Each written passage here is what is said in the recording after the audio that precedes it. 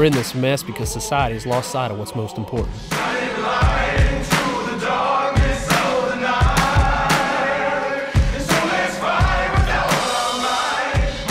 What matters most to me is my faith and my family. And I know I'm not the only one who believes that way.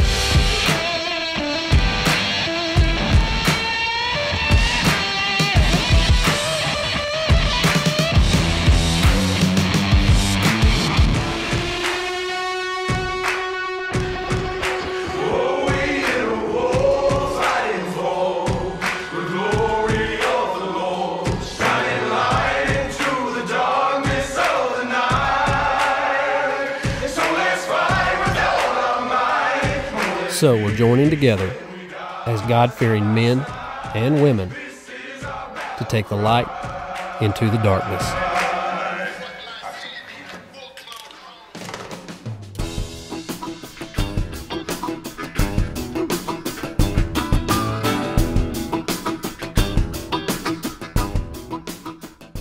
Well, I was able to get a property in southwest Kansas, a private ground, and after I went up and looked at it, I realized it didn't have the cover to hold a lot of deer, but I was excited about getting my Wild Game Innovation cameras out and getting some buck blitz out and just getting an idea of what kind of deer were on this property. I got them out early while the deer were still in velvet, while they were still growing, and I started getting pictures of a buck that looked like it was gonna be a really good up-and-comer, uh, good 10 point, and he starts hitting the buck blitz every night. I'm getting wild game innovation pictures of him every night, and then all of a sudden he explodes. In 13 days, this buck puts on 35 inches of antler. Now, if you don't believe that nutrition's important, then these photos kind of blow that out of the water. As you can see, this deer absolutely explodes, puts on an unbelievable amount of growth on his horns, and Buck played a huge role in that. 17% protein. These deer love it. Well, the results are right here in these pictures.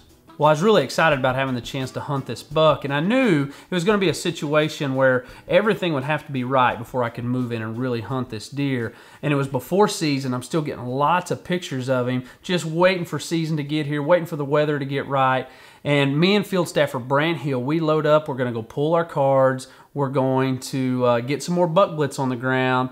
And when we pull up to the gate, we make a discovery that broke my heart. Well, folks, we are in Kansas on our lease up here. I got Brant with me, and we just drove by the creek that runs on the neighboring property right next to where we hunt. We know there's a lot of deer that hang out and stay in it. We just saw our big 10. He's been hit by a car, he's dead. We're gonna walk in and look at him. Just absolutely heartbreaking. He's a big buck. Here he is right here. No, I ain't been very long at all, dude.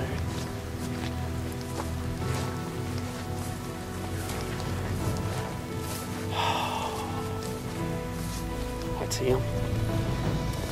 That's him. Oh, man. Yep, that's him. Gosh, dang it, man. I mean, the blood's still fresh. Mm -hmm.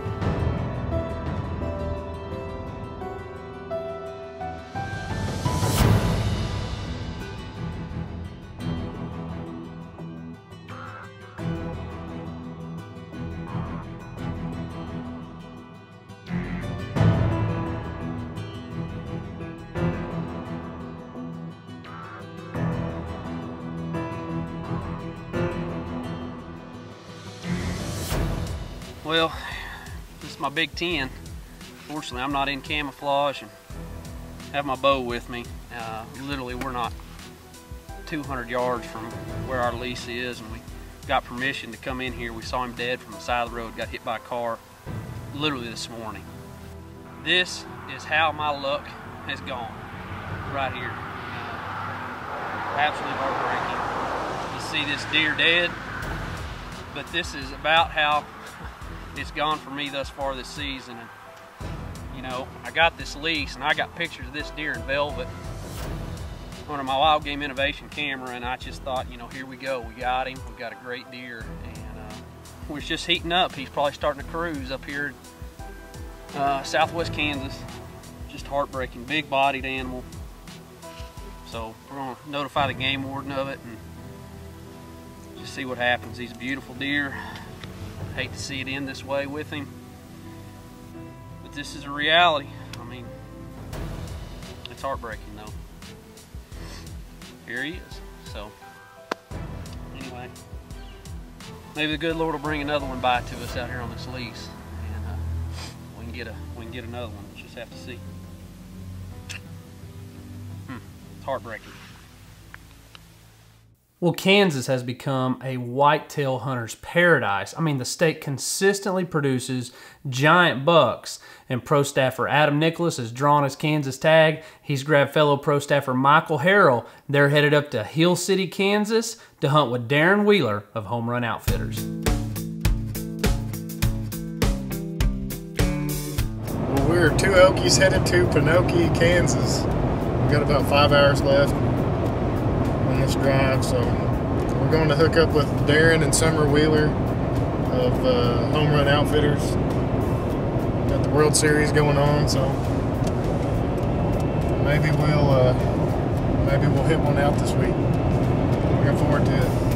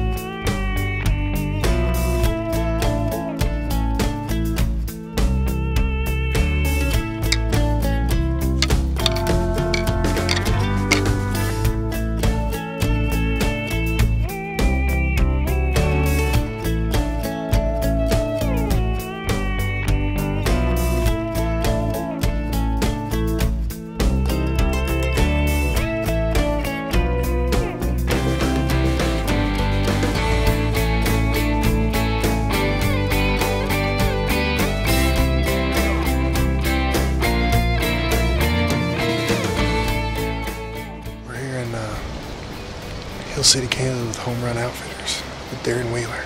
We sat at this spot the other morning. We haven't sat here in, the in, in the evening yet, so some buck blitz on the ground. We had a nice three-year-old come in the other night, so see if anything comes in this evening.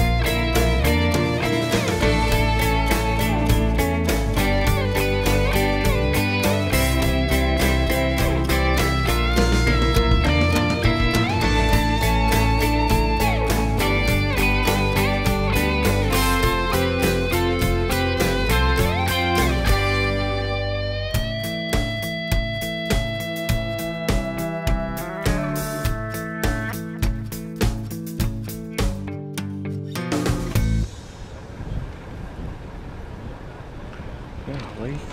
He looks pretty big right there. he looks pretty. He looks pretty big right there.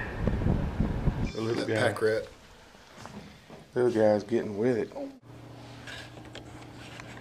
He's got to get his business done, don't he? I don't know what he's doing.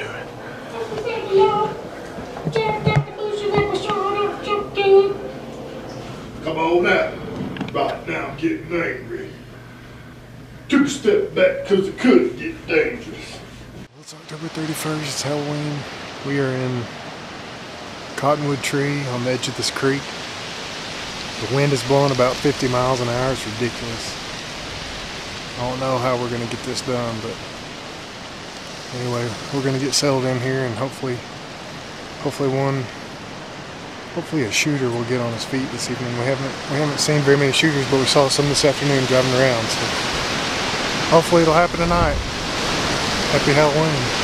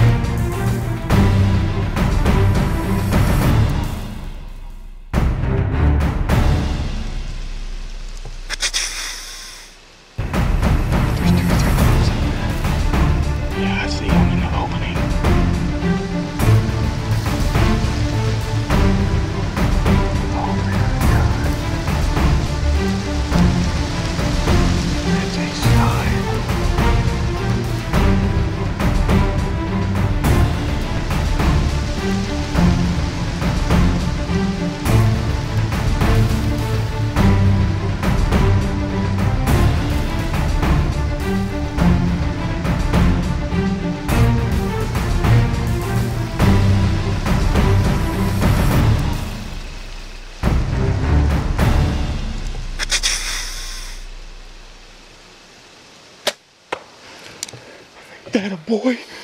That a boy. Thank you, Lord. Yeah, Thank you, Lord Jesus. Thank you, Jesus. Gosh, dude. Biggest deer in your life, baby. Thank you, home That's the run biggest deer in my life. I just got to say thanks to Darren, uh, Summer, and Hayden for their hospitality. They've fed me and Mike uh, every day and, and just gone to great lengths for us to be successful. And uh, I just thank them and thank the good Lord for this blessing. I can't wait to go down there and get my hands on him. This is Adam and Blackbeard in the tree signing out. From Kansas, baby. We're going to play a joke on you, Darren. And it's going to be awesome.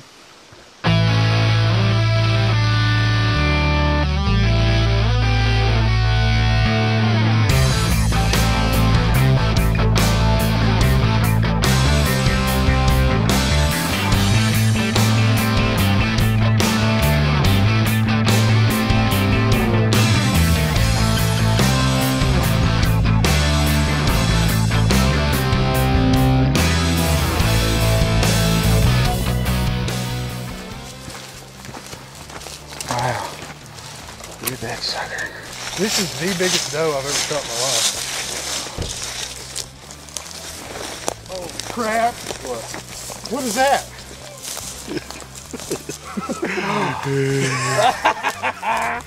Dude, we got a doe. We got it. Oh my God, stud. Well, I'm here with uh, Darren Wheeler of Home Run Outdoors and Home Run Outfitters here in northwest Kansas, and this giant came in tonight. We had three big bucks come in tonight, and that 10 point that came in would have might have outscored this one, but you know what? This is a big mature deer, and this is what you can expect in northwest Kansas. Just a toad. I want to thank you and your wife, Summer and Hayden, for your hospitality and having us up here. I had a blast. Oh, it's been an awesome, awesome week. Dude, this is the biggest buck of my life. What did we talk about earlier today? Halloween day, getting it done. I know. Congratulations, man.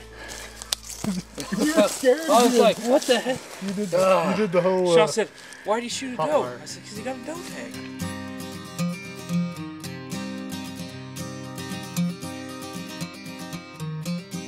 You've probably heard it said that a big deer doesn't become a big deer by being stupid. I mean, it takes a lot of work for a buck to reach his full potential. A lot of things have to factor in. I mean, he needs proper nutrition, he has to be good at avoiding danger. I mean, that's a must.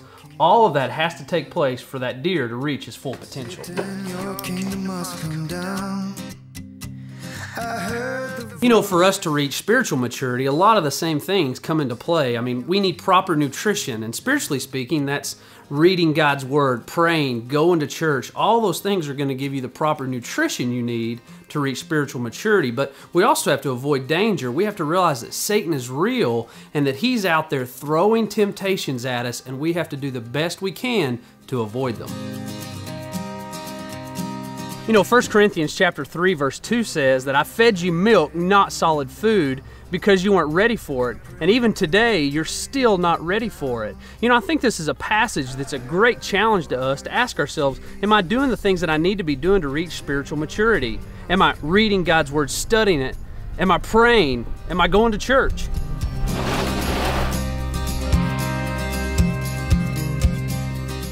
Maybe you're saying, well, I don't go to church because, well, the church is full of hypocrites. I hear that all the time. And I always tell people if you ever find the perfect church, don't join it because if you do, you'll ruin it. The reason the church is flawed is because we're in it and we're flawed people. But I understand that to reach full spiritual maturity, the church is really important. So today, are you doing the things you need to be doing to reach true spiritual maturity? Are you reading your Bible? Are you studying God's Word? Are you going to church? All those things are so crucial for you to reach true spiritual maturity. So today, we want to know how we can help you in that. Go to our Facebook page or Twitter or go to our website and shoot us an email. We want to know how we can encourage you in your striving towards spiritual maturity.